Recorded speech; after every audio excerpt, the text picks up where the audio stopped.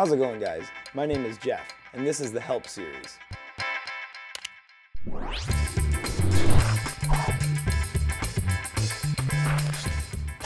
Alright guys, this episode is brought to you by a shout out to Rock Lee.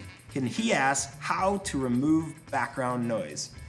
And that's what we're gonna talk about today. Getting rid of wind, fans, those kind of things. Let's get to it.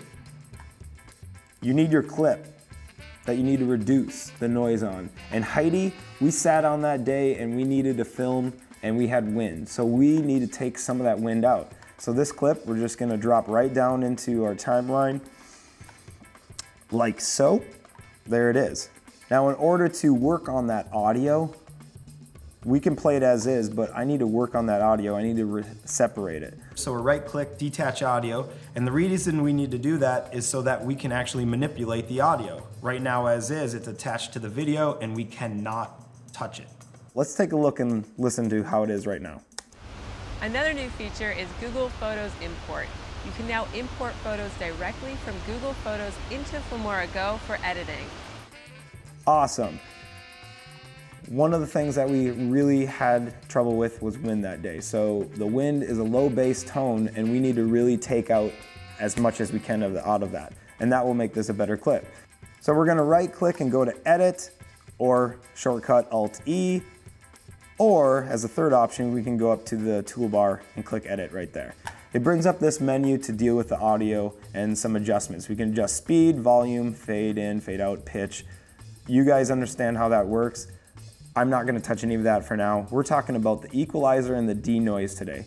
So right now, this button right here, remove background noise, is kind of a handy little first step. So we're gonna click that and we're going to listen to how this sounds. Another new feature is Google Photos Import. You can now import photos directly from Google Photos into Filmora Go for editing. So right now, that was a little bit weak as far as the strength of how we're gonna reduce the noise. So I'm gonna bump it to medium or mid, and we're going to uh, see how that sounds now. Another new feature is Google Photos Import. You can now import photos directly from Google Photos into Filmora Go for editing. Thanks, Heidi. You're really sweet. So I liked how that was working so far, but one thing to really note and notice is that it made Heidi's voice metallic and kind of like robotic. So we have to go into the equalizer right here and customize how we're going to change that. So let's check it out. Here we bring into the equalizer and right now all of these little dots are at the zero line.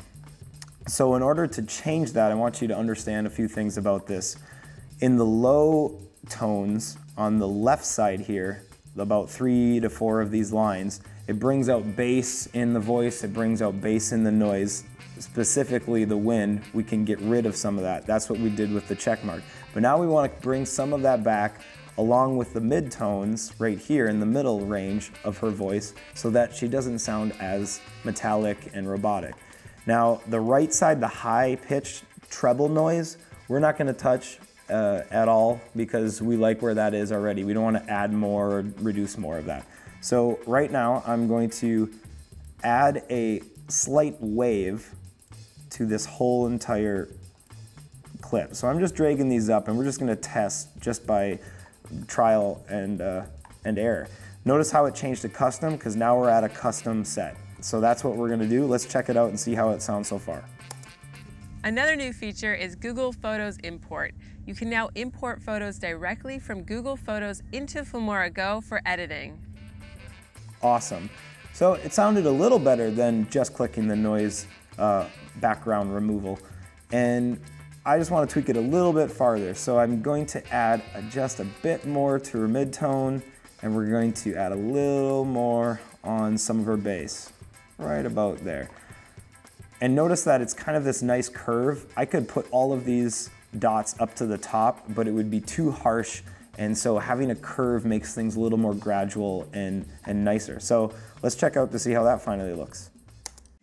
Another new feature is Google Photos Import. You can now import photos directly from Google Photos into Filmora Go for editing. I think that sounds great. Now, a couple things I want to talk about as far as using this denoise button It's not a magic button. It won't take out everything. It will allow you to uh, customize that and equalize and bring out some of the sounds, but not every clip is gonna work the way that does. From the beginning, you should use as much effort to get out all the noise from recording. But if you can't, like in our situation with Heidi and the wind, we just didn't want to sit there waiting for the wind to stop, so we knew that we could work it after. But it's not gonna fix every clip and you should use as much discretion when it comes to figuring out what clip, what sound, and what frequency and noise you're using. So pay attention to that and I wish you the best of luck. If all else fails, you don't have to be so uh, precise about it. We can add a little music. So adding music to this clip will kind of help even things out too. So we've got this Fringe Trim Boots song that I'm just gonna drop down and add to project. If I played it right now, it would be blasting loud. So we're just gonna highlight this and edit that. And we actually found out that we gotta bring it down to like one or two on this volume setting. That will be better. Um, so let's check that out. Another new feature is Google Photos Import.